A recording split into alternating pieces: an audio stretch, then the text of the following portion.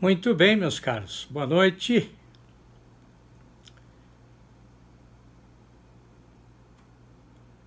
Muito bem. Regina, Flávia, João, Cassiano. Muito bem, muito bem.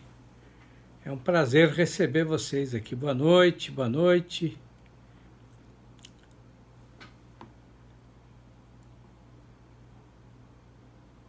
Muito bem, muito bem.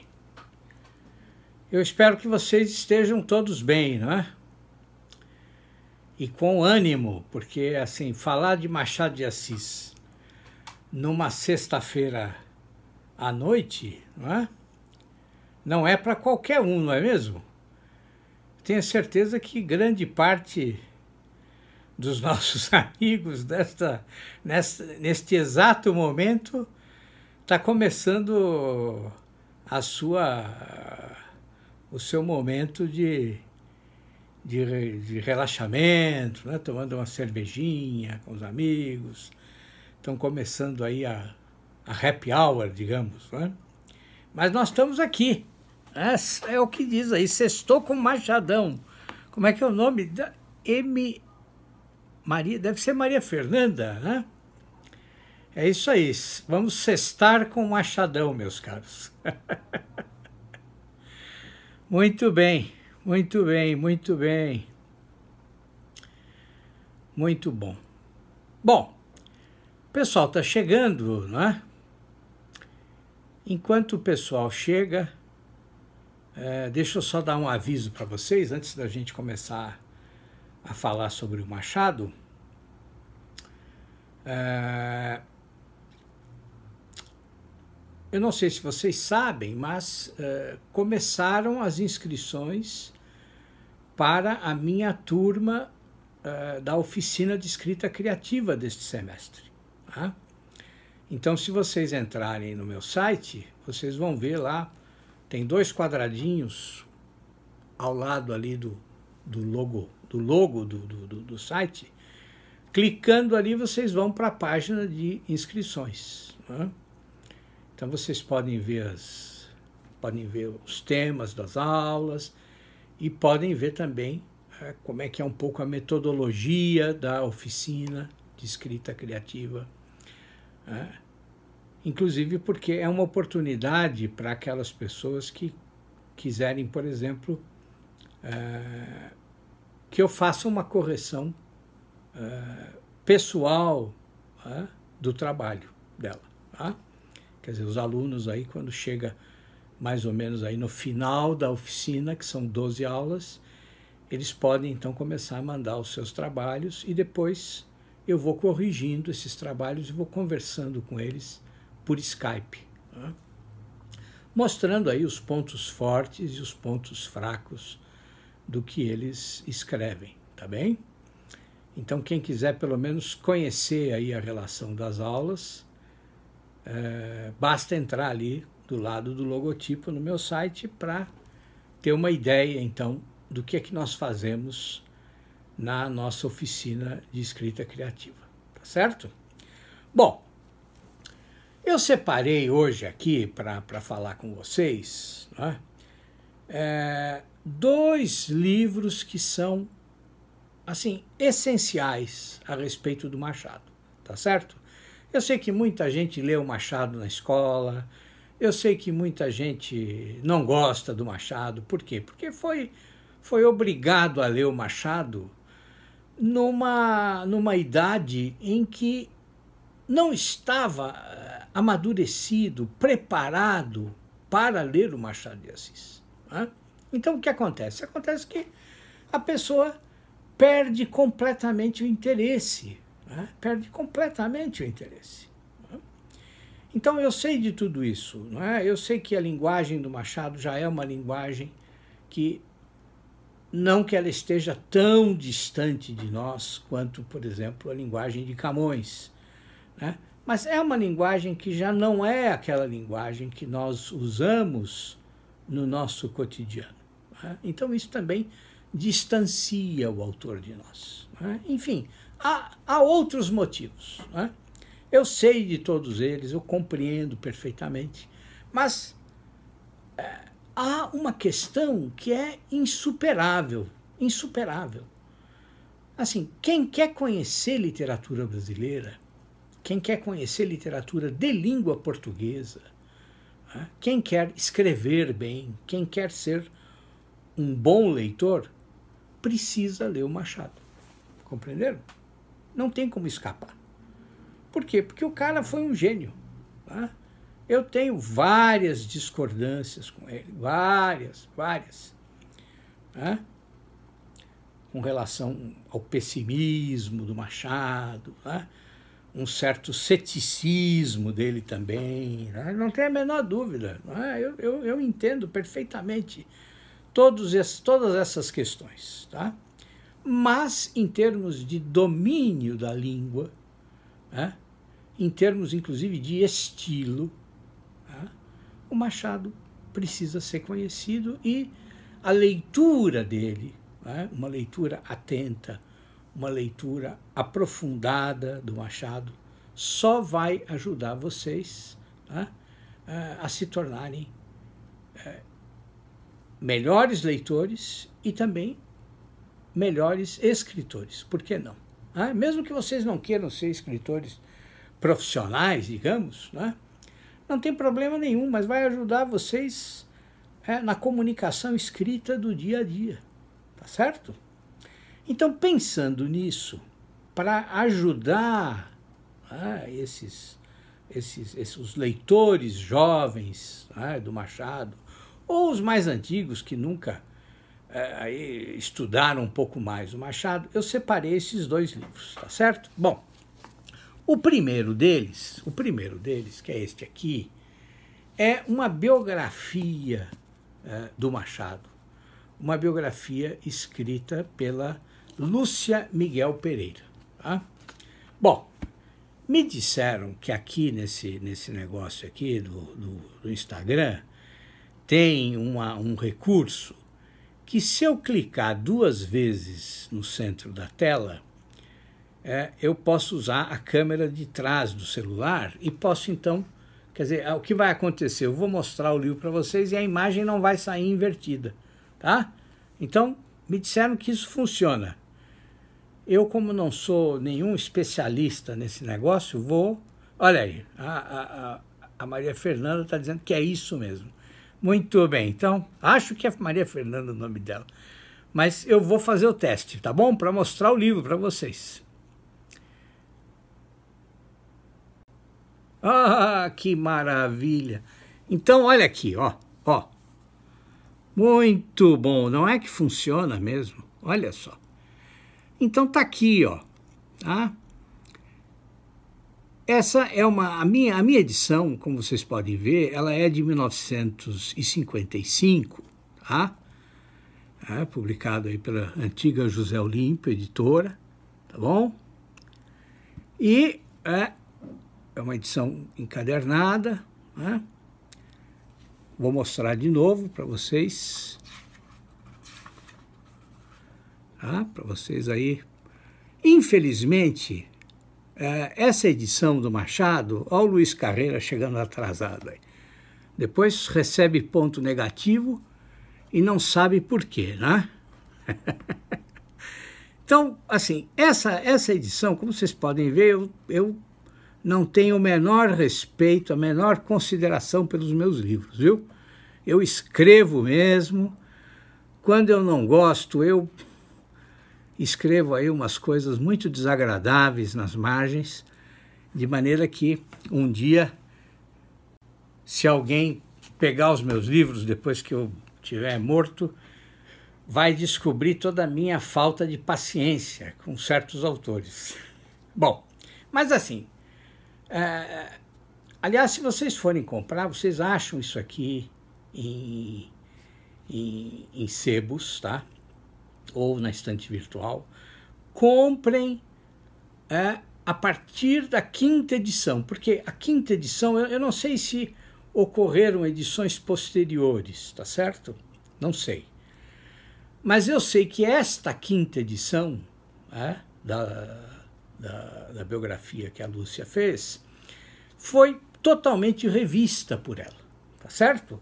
Então, não comprem edições anteriores. Agora, quem foi a Lúcia Miguel Pereira?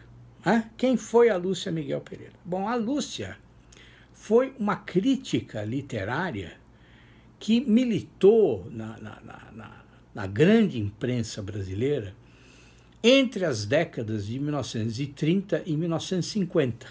Tá? Escrevia nos principais jornais brasileiros. Foi uma mulher brilhante, uma mulher brilhante. Eh, tem, eles estão de alguns anos para cá há uma, há uma editora, editora Grafia com PH, que está é, reeditando os trabalhos da Lúcia, tá? devagarzinho. E ela é uma crítica excepcional. Tá? Infelizmente, morreu é, num, numa verdadeira tragédia, num acidente de avião com o esposo dela, que, por sua vez, também era um intelectual excepcional, que era o Otávio Tarquínio de Souza, que vocês devem conhecer. Tá? que é responsável por uma, uma coleção de biografias de figuras é, do nosso império, não é? Enfim, Otávio também era uma pessoa excepcional. Os dois morreram nesse, nesse acidente aéreo, desgraçadamente. Tá? E, mas no apartamento deles, é, no Rio de Janeiro, se não me engano, no bairro das Laranjeiras, eles reuniram ali durante anos a, a elite intelectual brasileira. Tá? Então ali frequentavam uh, frequentava o Drummond, os Elins do Rego, é? o próprio Carpot era um frequentador assíduo, é? o, o, Álvaro Lins, o Álvaro Lins também, que é que, que é um crítico excepcional, é? crítico literário excepcional que está começando a ser redescoberto de alguns anos para cá. Bom, agora o que acontece com esse estudo que a, que a Lígia fez, não é? que a Lúcia fez, a Lúcia Miguel Pereira fez? Acontece que é uma biografia perfeita, maravilhosa, completa. Tá? E é, é um estudo crítico também, mas é principalmente um, um estudo biográfico do Machado. E o que vai acontecer? lendo esse, esse, essa biografia da Lúcia, vocês vão sair daquilo que o senso comum fala a respeito do Machado. Né? E vão descobrir realmente quem é o homem Machado de Assis. Tá? E isso é importante por quê? Porque isso vai contribuir para que vocês compreendam também de uma outra maneira as obras que ele deixou. Tá? Grande parte da, da, da, da crítica literária hoje é, diz que não, que assim, que a vida do, do, do, do escritor não tem absolutamente nada a ver com a, a obra que ele deixou. É? Mas isso é uma bobagem. Claro que tem, claro que tem. É? O autor, quando escreve, ele não consegue se separar do seu próprio eu. É? Do seu próprio eu. Olha aí, estão dizendo que o Bruno Tolentino indicava essa biografia. Ah, que maravilha. Bom, se o Bruno indicava, meus caros, então eu não estou falando bobagem, não é? Porque o Bruno foi excepcional, ah, como escritor, como ensaísta. O Bruno é uma figura, aliás, meu amigo Pedro Sete Câmara, do, do, aí do, do Rio de Janeiro, está preparando uma biografia sobre o, o Bruno, que eh, já me disseram que vai ser excelente, né? excelente. Bom, então, o que acontece? Com essa biografia, vocês vão entrar na personalidade realmente é, do Machado e vão conhecer detalhes que muita gente desconhece. Tá? Por quê? Porque o, o, estudo que a, que a Lúcia faz não é um estudo é, bajulador. Tá? Ela não fica só elogiando, engrandecendo o Machado, como muita gente faz hoje. Não ela mostra os problemas, né? os problemas, inclusive, de formação intelectual que o Machado tinha. Tá? Por quê? Porque o Machado veio de uma, uma origem muito humilde. Tá? Quer dizer, é, é, como se alguém hoje, um jovenzinho, um adolescente, aí saísse da favela tá? e fosse para um bairro rico do, do, do, Rio de Janeiro ou de São Paulo e começasse a participar dos círculos intelectuais. Né? E devagar, então, como autodidata, né, fosse aí se aprimorando. Foi isso que aconteceu com Machado. Foi isso que aconteceu. Machado é um, é um vitorioso por isso. Ele venceu tudo. Né? Agora, é evidente que com essa origem, com essa origem humilde, né? e ainda que ele dominasse perfeitamente, tivesse um estilo é, admirável de, de, de, de escrita, a Lúcia mostra, por exemplo, como ele tinha problemas com a ortografia. Né? Tinha problemas com a ortografia. Né? Por exemplo, ele, ele, ele, ele, ele não sabia usar a crase direito. Né? Ele tinha problemas aí de, de, de colocação pronominal. Tá? Percebem? Agora, é, isso, é, isso não, não, não, não diminui em nada o Machado. Ao contrário. Quer dizer, isso amplia para nós a humanidade do Machado. Isso é maravilhoso. Por quê? Porque mesmo os, os escritores geniais, mesmo os escritores geniais, nenhum deles é perfeito. Nenhum deles é perfeito. E a Lúcia vai mostrar então que quem é que ajudava o Machado? Quem ajudava o Machado era a esposa dele, a Carolina. Por quê? Porque a Carolina era uma portuguesa que dominava as regras né, da língua culta né, e, e, e, era inclusive uma grande leitora. Né, gostava muito de ler, por exemplo, Camilo Castelo Branco. Né, e ele, então, Machado, de manhãzinha, ele tinha o hábito de escrever de manhã antes de sair para trabalhar é, na repartição pública. Né. E o que acontecia, então? Ele quando ele terminava as páginas daquela manhã, ele deixava sobre a escrivaninha e quando ele ia embora, a Carolina entrava e ia ler e ia corrigir. Né? E de noite, então, quando eles voltavam, né, eles não tinham filhos, né, os dois ficavam então conversando a respeito do que ele tinha escrito. Né? De maneira que a Lúcia chega a dizer que a Carolina foi como que um, um segundo eu do Machado, um segundo eu do escritor. Ah? Então percebem? Quer dizer, conhecer essa, essa, essa união, né? essa, essa verdadeira integração desse, desse casal, né? é, é claro que vai fazer com que a nossa compreensão das obras dele é, também se aprimore. É evidente. Né? Então, fica essa essa primeira essa primeira essa primeira sugestão para vocês, tá certo? Bom, então vou mostrar de novo para quem chegou agora, tá? Vou mostrar de novo para quem chegou agora o livro, esse primeiro livro que eu recomendei, que é esta biografia, que é um verdadeiro clássico mesmo, tá? da Lúcia Miguel Pereira sobre Machado de Assis. E como eu disse, né, é, procurem a quinta edição ou uma edição posterior, tá certo? Bom, o segundo livro que eu quero mostrar para vocês é este aqui, ó. Esta introdução a Machado de Assis, escrita pelo Barreto Filho, tá? Bom, a minha, a minha edição, que está bem estragadinha, como vocês podem ver, não é? mas, puxa vida, ela também ela é velha, né? Ela é de 1980. Tá? Ou seja, em 80 eu tinha o quê? Tinha uns 20 anos. Tá? Então, esta introdução a Machado de Assis, do Barreto Filho, né? é um livro que ficou fora de catálogo durante muitos anos, tá? Mas em 2014, olha aqui, a editora Top Books do Rio de Janeiro lançou uma nova edição, tá? Uma nova edição e com uma coisa ótima. É com mais ensaios do Barreto Filho. Tá? Inclusive dois ensaios dele ótimos sobre o Jackson de Figueiredo, tá? que é que foi um intelectual importante do Rio de Janeiro, né?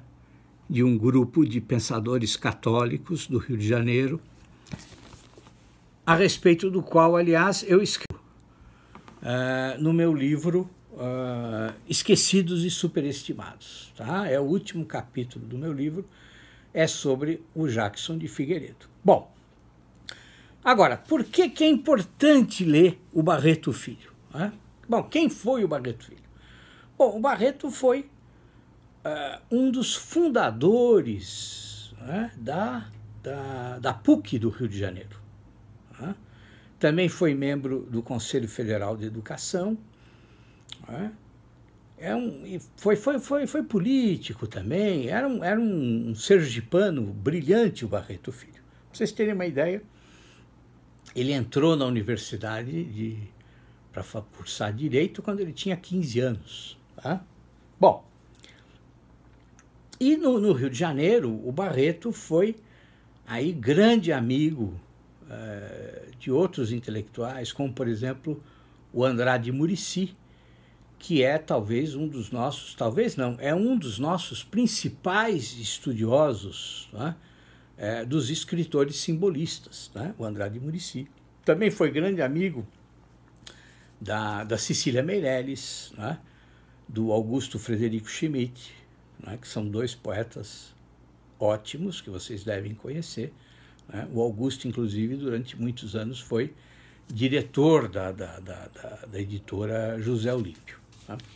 Bom, mas por que, que precisa ler o Barreto? Qual é o mérito de se ler o Barreto né, nos dias de hoje, quando assim, a bibliografia sobre Machado não para de crescer. Né? Surgem coisas novas aí, acho que é, todo mês. Né? Todo mundo fala sobre Machado, todo mundo estuda Machado. O que deve ter de, de dissertação de mestrado e tese de doutorado sobre Machado é uma coisa infinita. Agora, por que, que tem que ler o Barreto Filho e não outro? Tá? Por quê? O Barreto tem uma coisa que é excepcional tá? e que vocês vão encontrar hoje é, raramente, raramente. O Barreto se aproxima do Machado sem pré-julgamentos. Tá? E isso é muito difícil de vocês encontrarem hoje. Por quê? Porque hoje né, os estudiosos, os acadêmicos, eles já vêm sempre filiados a determinadas escolas tá? é, estéticas ou de, ou de análise literária. Tá? Então, um é estruturalista, o outro é pós-estruturalista, o outro aí, sei lá eu, é, faz parte da, da, da, estética da recepção, enfim, há uma, há uma série de, de, de, de escolas. Então, o que acontece com grande parte desses estudiosos? Né? Eles se aproximam do seu objeto de estudo, se aproximam do Machado para provar alguma coisa, tá? para encontrar nele alguma coisa, algum elemento que confirme a teoria que eles já defendem. Tá certo? Este, isso é um problema, isso é um problema. Tá? Agora, o Barreto não. É um ensaio antigo. Uh, eu não, não posso dizer que eu concorde com tudo o que ele fala, mas assim, o fato de não haver uma conceituação pré-concebida da parte dele em relação ao Machado, quer dizer, o fato dele não querer provar uma teoria, mas, mas uh, ser movido pelo desejo de realmente estabelecer um diálogo com o Machado de Assis, Bom, isso é maravilhoso. Vocês vão ver que isso criou um ensaio que é excepcional, excepcional. Tá? É, eu poderia citar aqui uma infinidade de, de, de questões que, que, nas quais o Barreto acerta. Né? Mas, por exemplo, o que ele, a análise, o estudo que ele faz a respeito da ironia machadiana né, e do humor machadiano, nossa, é, é fantástico. Né? Quer dizer, ele mostra é, perfeitamente como os narradores do Machado sempre mantêm uma, uma, um certo distanciamento, digamos que desconfiado né, dos personagens, é, dos elementos que compõem a história. Tá? Agora, e esse distanciamento faz o quê? Né? Esse distanciamento cria no Machado, então, né, no estilo machadiano, aquilo que o Barreto, o, Barreto uh, define muito bem né, como uma serenidade amarga. Né, uma serenidade amarga. Ah, bom, essa, essa definição é perfeita a respeito do Machado. É exatamente o que nós sentimos quando a gente lê o Machado. Ele está carregado de uma serenidade amarga. Tá? Então, o que acontece?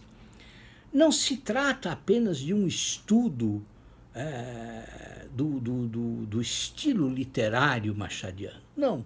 Esse ensaio do Barreto Filho, é, ele é também um, um estudo da psicologia machadiana.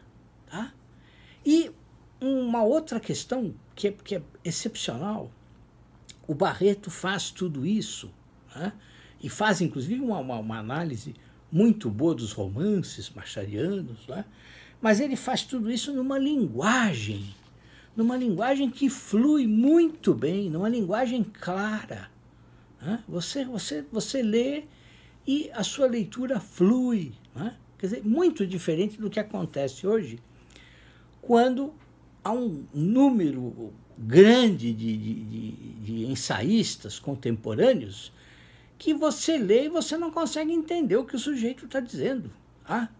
Por quê? Porque, em primeiro lugar, ele usa, ele, hoje se usa toda uma terminologia né, da teoria literária que é, assim, cria um verdadeiro labirinto, não é? É muito difícil para quem não é do meio compreender.